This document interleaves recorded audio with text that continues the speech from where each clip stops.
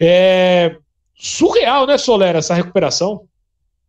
É, e vale sempre destacar o profissional Rony, né? Porque ele já jogou a final do Campeonato Paulista com o braço quebrado, ele já estava se queixando dessas dores no braço direito muito antes da, da final do Campeonato Paulista. É, depois que ele volta da seleção, ele já estava com esse incômodo no braço, né? Então não dá nem para saber é, ao certo quando aconteceu e se piorou com ele continuando é, atuando pelo Palmeiras e aí foi de um incômodo para uma fratura, mas fato é que literalmente o homem foi no hospital, ficou um dia, fez a cirurgia, no outro recebeu alta, foi para casa, tomou um banho, vestiu um uniforme e apareceu na academia de futebol. E, por, e pelo Rony, ele já teria voltado antes. O Rony pediu para voltar antes. Só que o pessoal do núcleo de saúde e performance do Palmeiras falou: ó, oh, não, não dá para voltar antes. Vai sentir muita dificuldade. Mas o Palmeiras ele faz algo que é um diferencial e é muito importante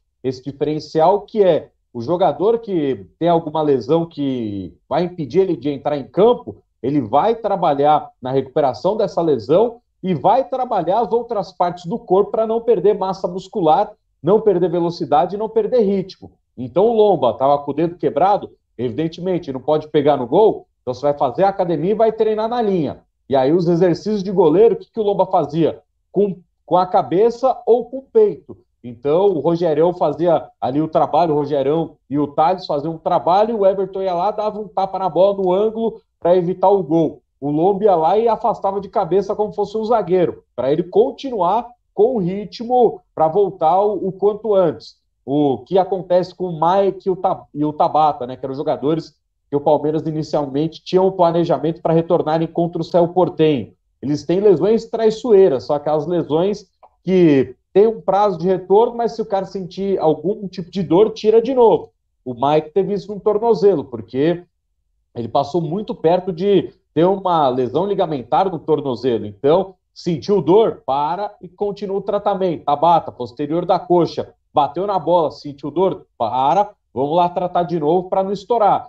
Então, o Palmeiras tem essa tecnologia e essa inteligência para entender como que vai recuperar os jogadores, continuar trabalhando com esses caras para que eles voltem o quanto antes e 100%.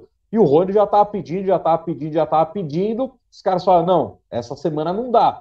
E aí foram ver de novo, fizeram os exames, checaram o braço dele, falou: ó, você aguenta correr, aguenta trombar nos caras, vai sentir um pouco de incômodo, mas não vai quebrar o osso, não vai fraturar de novo, não vai interromper a sua recuperação seu braço, a única coisa que ele não vai poder é, quando ele fizer o gol, sair dando mortal. Então, lembrando, né, que ele fez um gol de cabeça nesse período com dor no braço, ele não deu mortal porque o braço dele já estava fudido. Então, é, ali a gente não sabia, mas ali ele já estava com o braço fudido. E ele mesmo depois falou, não, eu tô com dor, não sei o quê, ele até confundia achando que era no ombro, porque muitas vezes ele ficava é. fazendo assim para puxar o braço.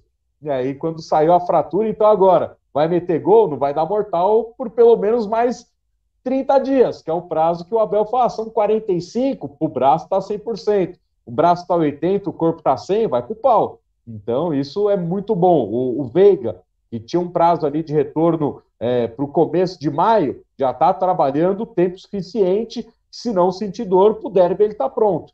Então, o Palmeiras trabalha muito bem, o núcleo de performance saúde do Palmeiras é espetacular, e os jogadores são espetaculares, ninguém quer ficar de fora. Os caras trabalham para voltar e às vezes querem antecipar. Então é isso, você tem um profissional muito bom no departamento médico, um profissional muito bom na área técnica, um profissional muito bom dentro das quatro linhas. E aí você tem que casar tudo isso para que ninguém seja prejudicado e o Palmeiras tenha sempre os melhores à disposição. E o Rony faz questão de querer estar entre os melhores.